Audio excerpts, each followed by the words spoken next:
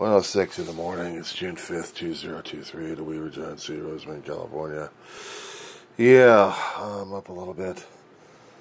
Close out the windows. Have to deal with the doggy smells in this place. I usually keep the windows open so ventilating, I can vent the place out. The air has gotten so still out there without any movement.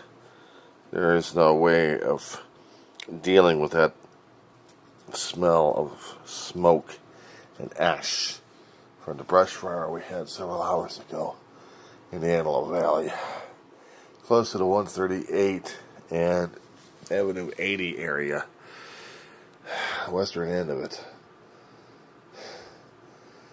My dog kept pleading with me to go take her out. I've got Chux down on the floor. If she's going to do something, she's going to do something. She's going to throw it right into the uh, she's to put it on the floor, on those pads. I'll take care of it. I'll clean it up, put them in a garbage bags, seal them up, get them the hell out of here.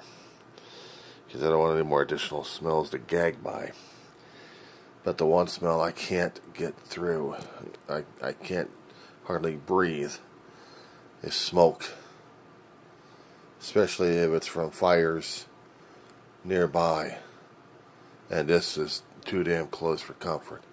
Antelope Valley, yeah, it's way too close for comfort, and I'm still having a hard time trying to deal with it.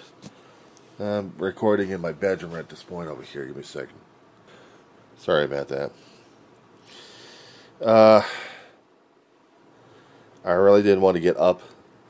Wanted to get as much sleep as I can, but after smelling what I did a few hours ago, I really wasn't into the um, air quality situation. I really couldn't smell. I really couldn't breathe. I couldn't, couldn't do anything in the household. Shut things down and have to deal with doggy smells. It's still uncomfortable outside. And as I said before, I'm not taking her out. Fires usually gives me anxiety anyway.